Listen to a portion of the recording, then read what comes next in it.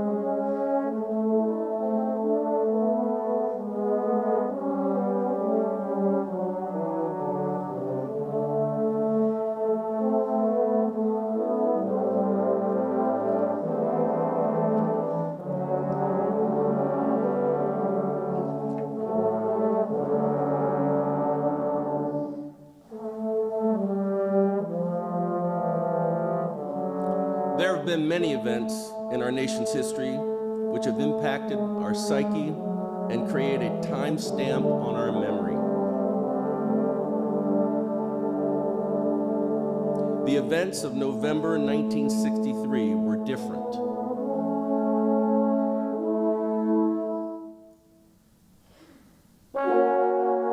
For the first time in history, we were able to experience these events as they unfolded. Had ended. From Dallas to Washington to Arlington, we watched and now remember it as though it were yesterday.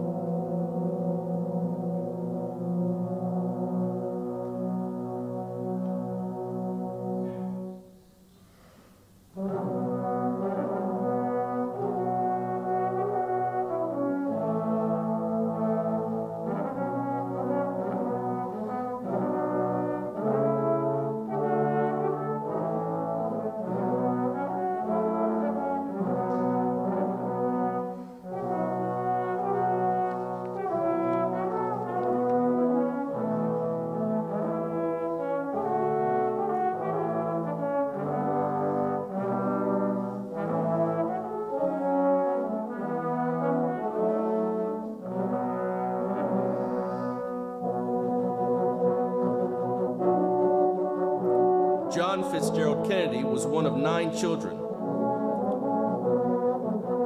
Served as a lieutenant in the Navy during World War II and later as a member of Congress from 1947 to 1960.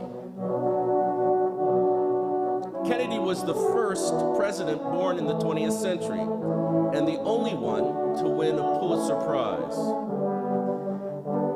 He was the youngest person elected president. He was the youngest to die in office.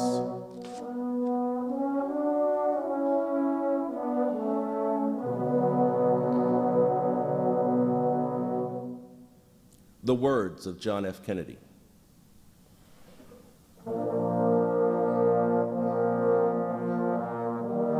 Let the word go forth from this time and place to friend and foe alike that the torch has been passed to a new generation of Americans.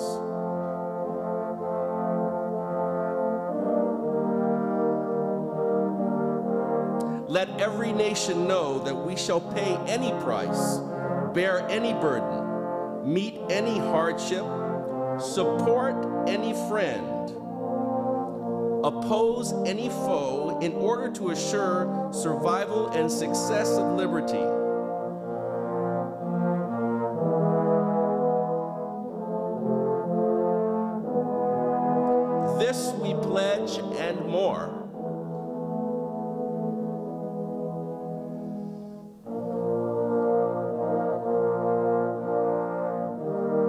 Together, let us explore the stars, conquer the deserts, eradicate disease, explore the ocean depths, and encourage the arts and commerce.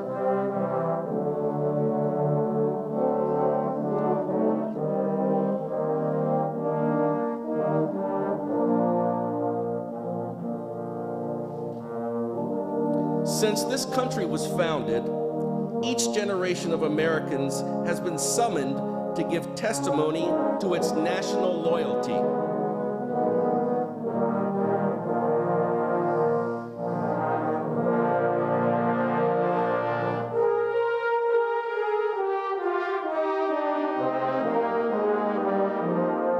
Now the trumpet summons us again, not as a call to bear arms, not as a call to battle, but a call to bear burden of a long twilight struggle.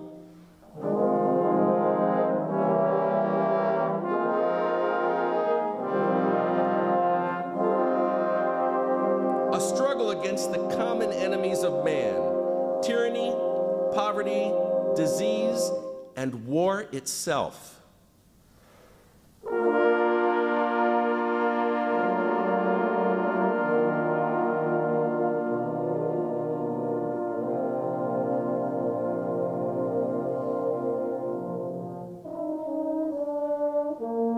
In the long history of the world, only a few generations have been granted the role of defending freedom. The energy, the faith, the devotion which we bring to this endeavor will light our country and all who serve it. And the glow from that fire can truly light the world.